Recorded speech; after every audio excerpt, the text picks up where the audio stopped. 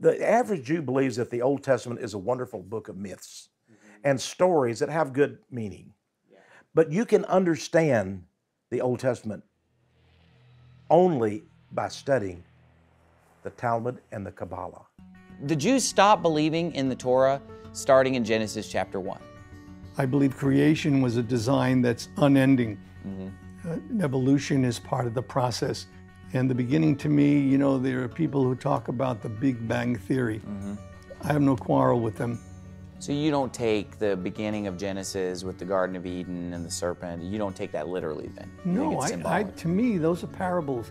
So when you look at the key teachings of the books of Moses, Genesis through Deuteronomy, the Jews don't really believe any of these.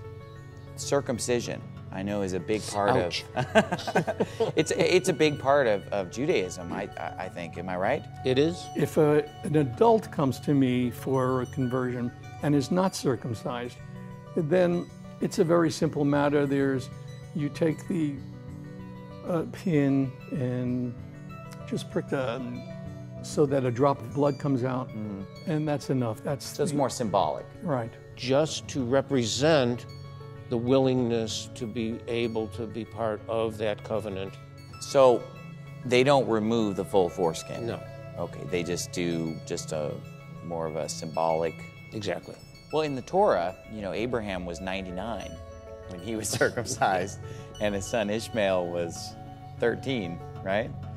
But nowadays, they don't. They don't. Now, we as New Testament Christians don't practice circumcision.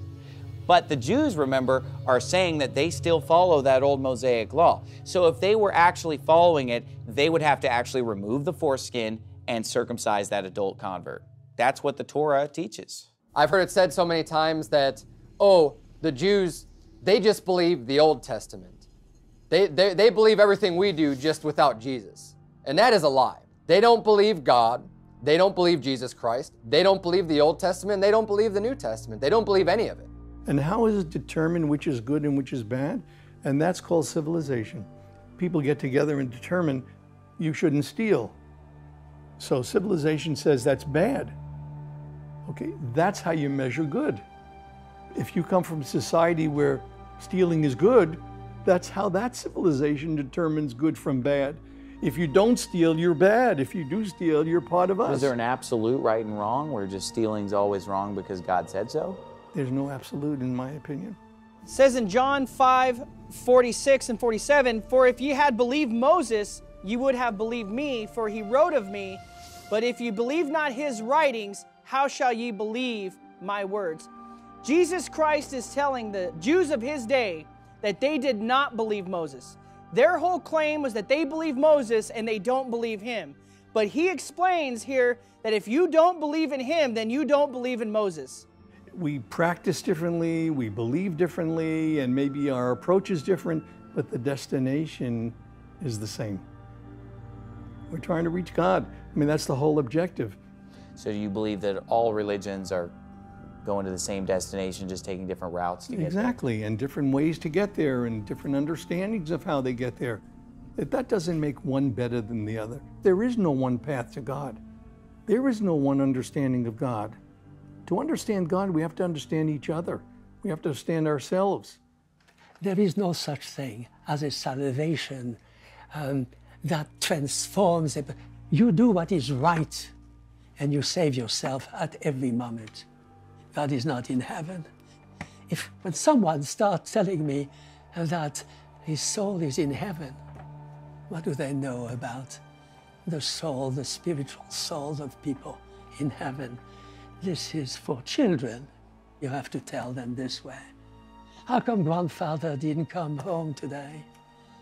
Oh, he's in heaven. What about hell? Is, is hell something that, that is part of Judaism or no? It being like a place of fiery punishment, for example. I have been in hell. Hmm. What we call hell is the valley of Hinnom. Tophet also, right? There is a place right outside of Jerusalem that is called the Valley of the Sons of Hinnom. Mm-hmm. It was a place where pagans used to offer human sacrifices. And by extrapolation, somehow, they imagined that there was a place like that in the universe somewhere where wicked people would be going. So you you don't believe that the Old Testament teaches any kind of a, a literal hell? No. Okay. All right. A lot of people will tell you the Bible says if you don't do something, you'll have a bad life or you'll go to the netherworld. Hell. Yeah, right. Well, we don't subscribe to hell anyway, but you know, that kind of, uh, f- my feeling is different. If the Jews don't believe in the creation story of Genesis 1, they don't believe the story of Adam and Eve literally, they don't believe in Noah, they don't believe in the Tower of Babel, they scoff at these stories, they don't believe in circumcising adults, they don't believe in the animal sacrifice, what part of the Torah do they believe in? This is supposedly their most exalted book. Yet when you look at all the particulars of what the Torah teaches, they don't believe any of it. Today, you have a lot of evangelical Christians in America that are very pro Israel. Very. Christians are just really zealous in their uh, support of, of Israel. Now, has it always been that way throughout history, or is Oh, that a God, no. newer phenomenon? Um, no, it, it hasn't been that way through history. traditionally, uh, Christianity was essentially anti Semitic. The phenomenon of the Christian Zionists is relatively recent. They maintain that the Jews are God's chosen people and will always be God's chosen people. They use the term the apple of God's eye. And that's a more recent phenomenon? Yeah, I'd say a few hundred years, as far as I know. That mm-hmm. does not go all the way back. Right. Replacement theology mm-hmm. has played a very important role in Christianity. But what is replacement theology? Replacement theology is the root and branch of Christian anti Semitism. It's like a virus in the church. Basically, is saying that the church now has superseded Israel, and this theology that discards the place of the Jewish people and replaces it with the church, the new and true spiritual Israel, is very dangerous because I believe it's the primary root of anti Semitism.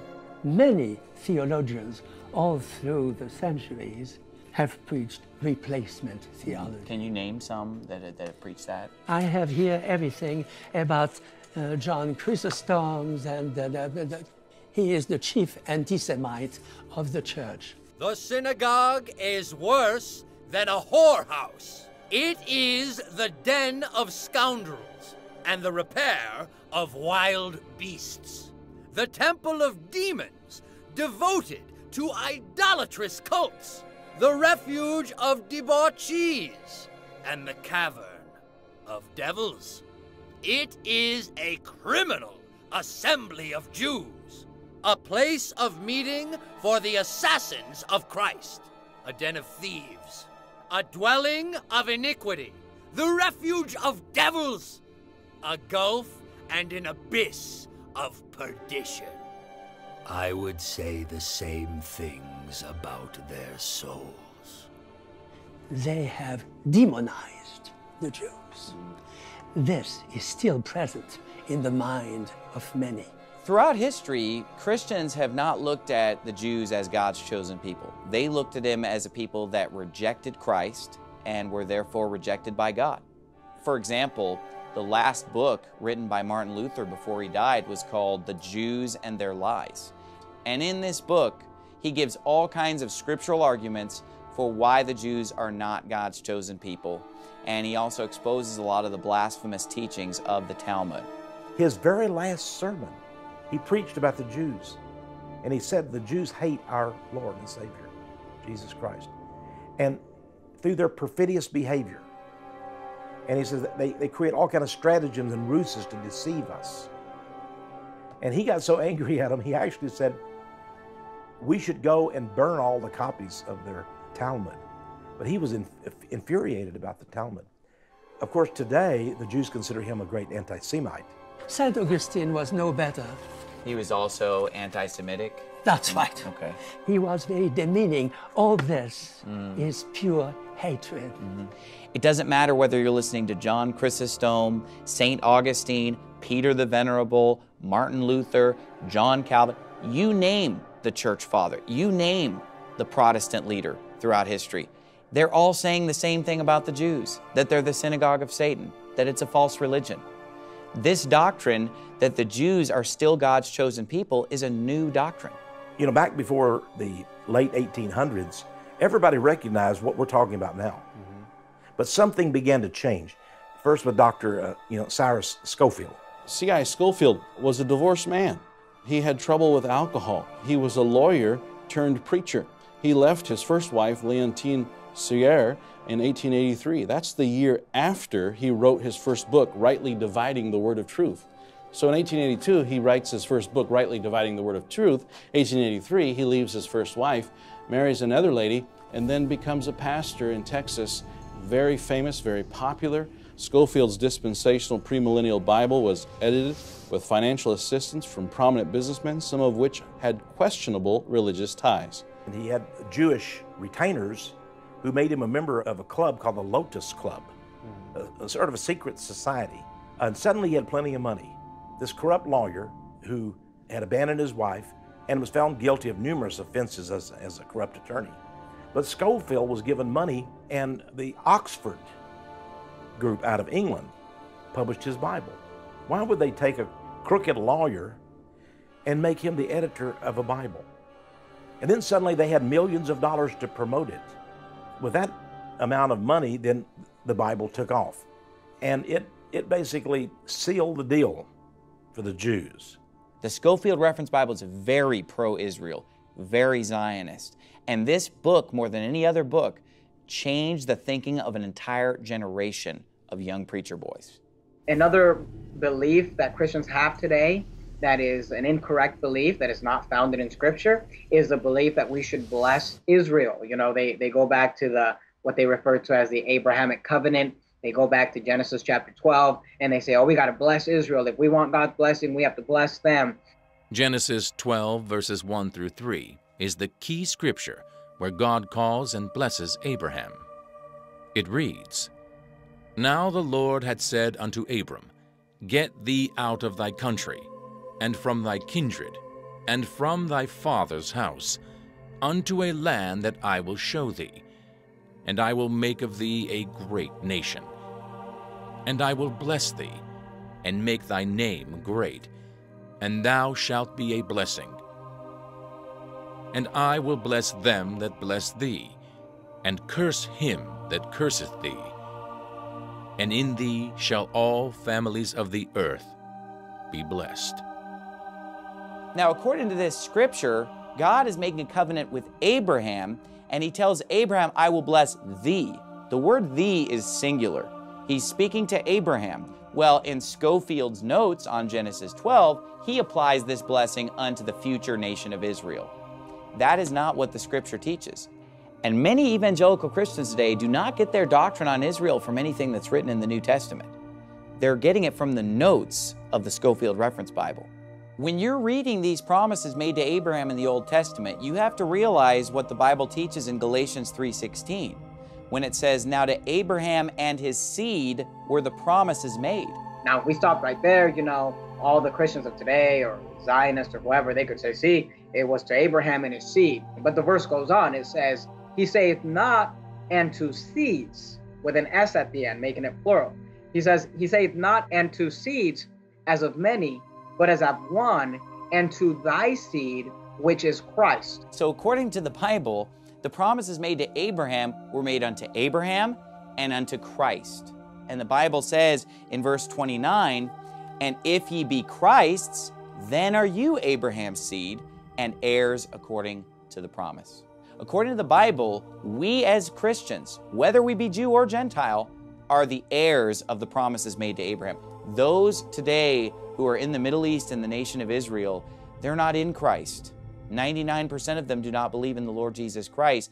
Therefore, they are not the seed of Abraham. Therefore, Genesis 12, 1 through 3 does not apply unto them. You know, people will say, well, we've got to support Israel if we want God's blessing on ourselves. If we want God's blessing on our church, if we want God's blessing on our nation, we must support a physical Israel. Well, if you just count back the last 66, 67 years of American history, do you find the blessing of God on our country? Did we have legalized abortion back in the 1940s? No, it's come since then. What was our debt in the 1940s versus today? What were we like then compared to what we are now? You can't convince me that the blessings of God have fallen on this country because of a quote unquote promise to support a physical group of people somehow correlates to blessings from God.